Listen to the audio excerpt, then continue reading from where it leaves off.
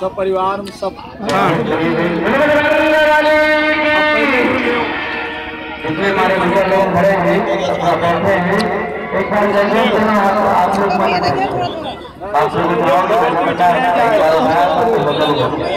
बाहर ही थोड़ा भैया लोग हमारे चलाओ